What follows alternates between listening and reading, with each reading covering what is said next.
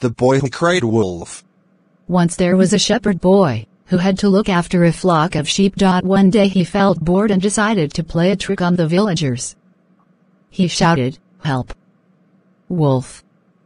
Wolf! The villagers heard his cries and rushed out of the village to help the shepherd boy. When they reached him, they asked, Where is the wolf? The shepherd boy laughed loudly, Ha, ha, ha, I fooled you all. I was only playing a trick on you. A few days later, the shepherd boy played the trick again. He cried, Help! Help! Wolf!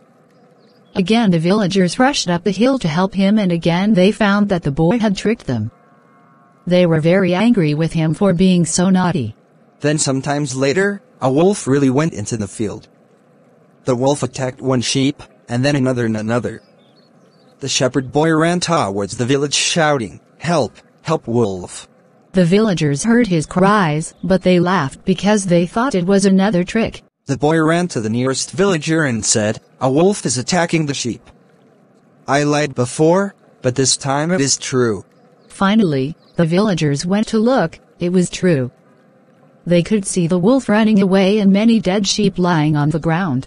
Moral lesson, we may not believe someone who often tells lies even when he tells the truth.